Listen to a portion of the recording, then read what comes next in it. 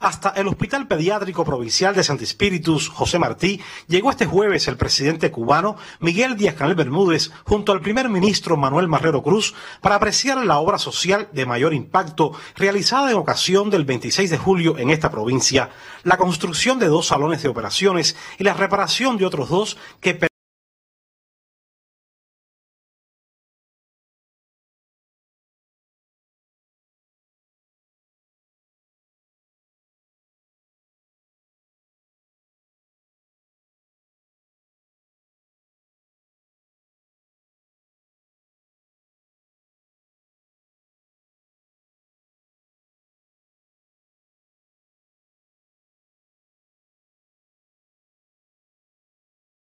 y eso siempre atenta contra la vida y la calidad de la atención médica. El mandatario reconoció el trabajo realizado en el hospital, así como el impacto que tendrá una vez concluido dentro de la población pediátrica y sus familias. La inversión total de toda la unidad quirúrgica con el equipamiento que se compró, alrededor de 45 millones de pesos. Sin equipamiento. Sin equipamiento estamos por los 36 millones de pesos. ¿Qué pasa? Que el equipamiento ha sido poco. Porque hemos tratado de de utilizar el mismo. Está el presidente de aquí víspera del 26. Bueno, yo creo que eso es una satisfacción muy grande por varias, varios motivos. Primero, esta institución cumple 55 años de fundada en el día de mañana también. Eh, después, o primero quizás, es el 26 de julio en nuestra provincia habernos ganado la sede del 26 propiamente. Es una satisfacción para todos los profesionales de la salud, para el pueblo espirituano. Como parte del recorrido por la provincia sede del acto por el Día de la Rebeldía Nacional, el jefe del Estado visitó también las instalaciones de Panelec, entidad perteneciente a la empresa de mantenimiento y reparaciones a obras hidráulicas dedicadas a la fabricación de pizarras eléctricas. El primer beneficio que tiene esto es el ahorro de importaciones que tiene. Hacer un panel aquí, fabricarlo aquí, eh, importando la materia prima, ahorra un gran por ciento de, de divisa al país. Si tenemos en cuenta que entre mayor potencia tenga el panel, puede llegar a ahorrar un 50% de la divisa. Durante el intercambio con parte de sus 21 trabajadores, el presidente cubano y el primer ministro se interesaron también por las posibilidades de crecimiento a corto y mediano plazo, a la vez que los convocaron a una mayor inserción en la economía nacional. Ya estamos aprobados como una pyme estatal, estamos en el proceso de la plataforma del MEC eh, de legalizarlo ya como pyme estatal. ¿Qué pasa con pyme estatal? Ya nosotros tenemos la facultad de venderle a personas naturales y personas jurídicas. Hasta hoy solo podemos venderle a, a empresas no podemos vender la población.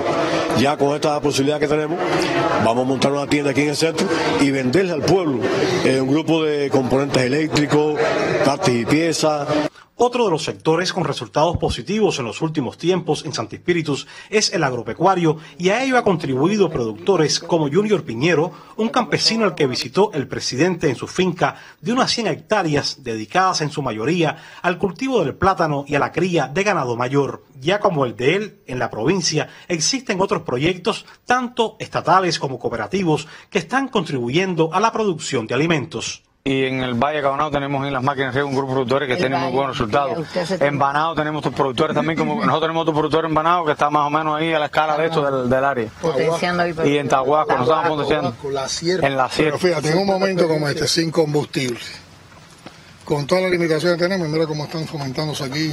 Pues fíjate que ya no es solo lo que está, que lo han hecho en un año, ¿eh?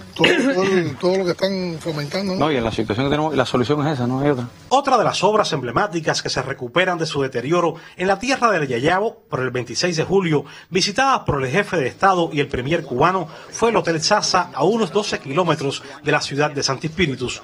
Como parte de la inversión por estos días, aquí concluyen los trabajos en la piscina, los bares, la sala de juego y la discoteca y en una primera etapa estarán listas para recibir visitantes 78 de sus 124 habitaciones, algo que no sucedía en esta instalación de la cadena Isla Azul desde hace cinco años.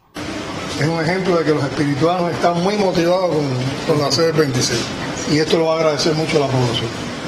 Y es recuperar en tiempos difíciles recuperar algo que se, nos había deteriorado. Está el mérito de la recuperación, está el mérito de ahora saquemos lecciones para que esas cosas no se nos vuelvan a repetir, que no se nos deterioren en lugares como este. Muy bien.